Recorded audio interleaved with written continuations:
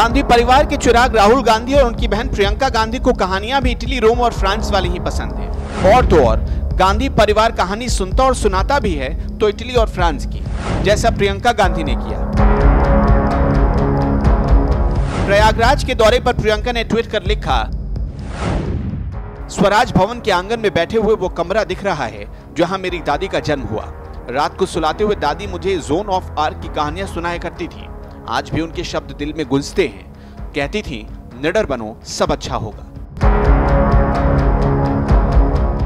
पहली बार में प्रियंका के ये शब्द बहुत भावुक लगते हैं, लेकिन जरा हकीकत जानिए। और जरा प्रियंका से पूछिए कि चुनाव से पहले स्वराज्य भवन का ये आँगन उन्हें क्यों याद नहीं आया?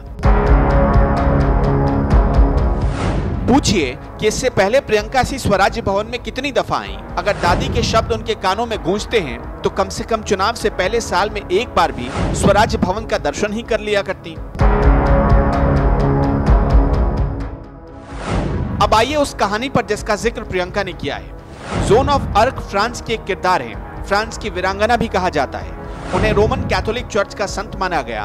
उनकी बहादुरी के किस्से दुनिया भर में मशहूर हैं। उन्होंने एक सपना देखा था कि इंग्लैंड के कब्जे से एक दिन फ्रांस आज़ाद होगा, और ऐसा हुआ।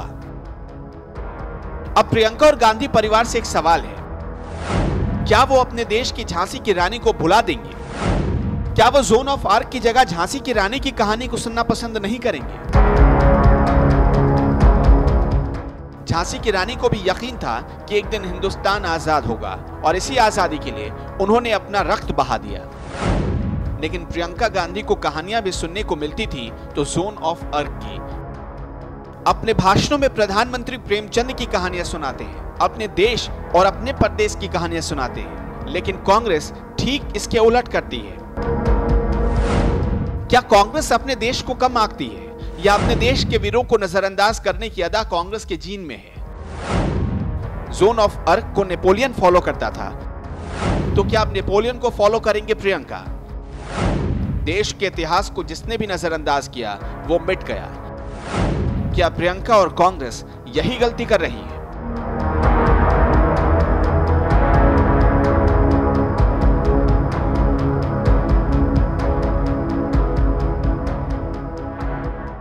स्वच्छ भारत अभियान पर अगर मैंने इतना बल दिया है तो उसके पीछे देश की बहन बेटियों की गरिमा है, उनका सम्मान है। साल 2014 में जब आपने मुझे प्रधान सेवक का दायित्व सौंपा, उस समय लाल किले से मैंने देश की बहन बेटियों को इस अपमान और पीड़ा से मुक्ति दिलाने का संकल्प लिया। उस समय आपने भी देखा होगा कि जो पहले सत्ता में थे, उन्होंने कैसे कैसे मेरा मज़ाक उड़ाया था। न जाने मुझे क्या क्या कहा गया। कितनी आलोचना की गई। ये कैसा प्रधानमंत्री है। लाल किले से टॉयलेट की बात करता है। मेरी सोच और समझ को लेकर अपमानजनक टिप्पणियाँ भी की गई। साथियों, ये टिप्पणी करने वाले या तो वो लोग थे जिनको बहनों की पीड़ा की परवाह नहीं थी। मुझे इस पीड़ा की जानकारी भी थी और करोड़ों बहन बेटियों की परवाह भी है। और इसलिए मुझे सोने का चमच लेकर के पैदा हुए लोगों के तंज कभी नहीं चूपते। मेरा अपमान वो करते रहे, लेकिन करोड़ों बहन बेटियों को सम्मान की ज़िंदगी इज्जतगार ये कैसे मिले? जल्द से जल्द कैसे मिले? इस बात को मैंने मन में ठान के रखा है और जी जान से उसके लिए जुटा हुआ गैस का कनेक्शन आपको मालूम होगा, कांग्रेस के जमाने में 2013 में, जब चुनाव की चर्चा चल रही थी, तब कांग्रेस ने वादा किया किया था। नौ सिलेंडर देंगे कि बारह सिलेंडर देंगे। किया था ना? और उन्होंने घोषणा की थी कि अगर उनका प्रधानमंत्री बनेगा तो 12 सिलेंडर देंगे। भाइयों बहनों, पार्लियामेंट के मेंबर को 25 कूपन देते थे गैस की। और वो साल भर में 25 परिवारों को अब्लाइज करता था। और उसके लिए लोग बेचारे लाइन लगा के खड़े रहते थे कि मुझे जरा गैस का एक कूपन दे दो, मुझे गैस का चूल्हा लेना है, गैस का कनेक्शन लेना है। ये इनका राज करने का तरीका था। भाइयों बहनों, देश में 55 प्रतिशत घरों में ही गैस का कनेक्शन पहुँचा था। पैंसठ साल में 55 प्रतिशत। कितना? आपको आंकड़े याद रखने पड़ेंगे, तभी तो उनका हिसाब मांगोगे ना।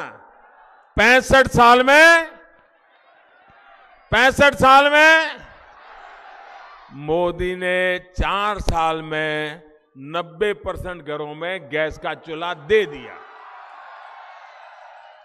आप मुझे बताइए, इनको परेशानी है कि ये माताएँ बहनें मोदी मोदी क्यों करती है?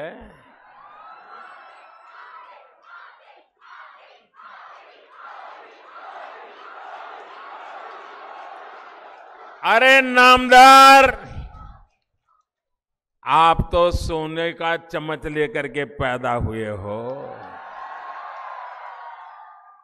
जब लकड़ी का चूल्हा जला करके गाना, खाना पकाते हैं तो घर में जो धुआँ होता है, एक माँ के शरीर में 400 सिगारेट का धुआँ जाता है 400 सिगारेट का। और घर में जो छोटे छोटे बच्चे खेलते हैं, वो बचपन में ही बीमारी के शिकार हो जाते हैं, और ये मोदी है। सोने का चम्मच लेकर के पैदा नहीं हुआ था। उसने गरीब माँ को लकड़ी का चूल्हा जला करके धुएँ के बीच खाना पकाते देखा था। उसे उस माँ का दर्द मालूम था और उसलिए इसलिए उसने आकर के